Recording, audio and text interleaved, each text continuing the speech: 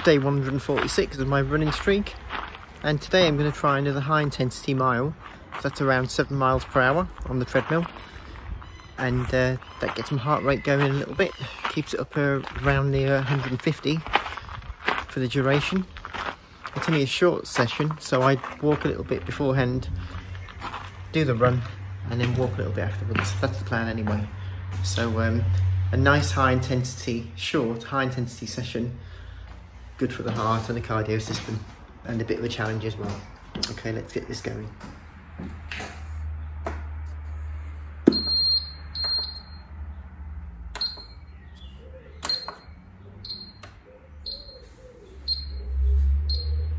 off we go. I'll see you on the way round. It's the end of the session.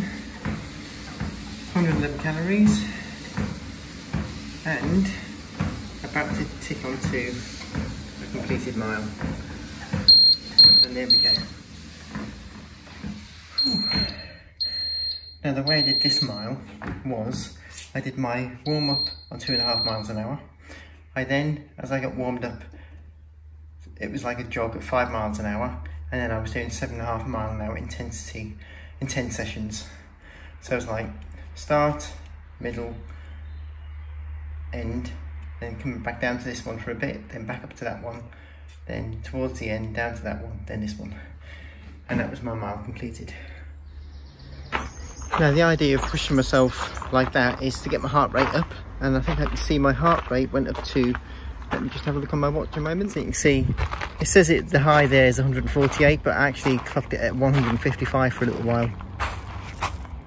So high intensity, short burst sessions will help with my speed, will help my cardio, and it's a challenge, and the sessions are also quite short really.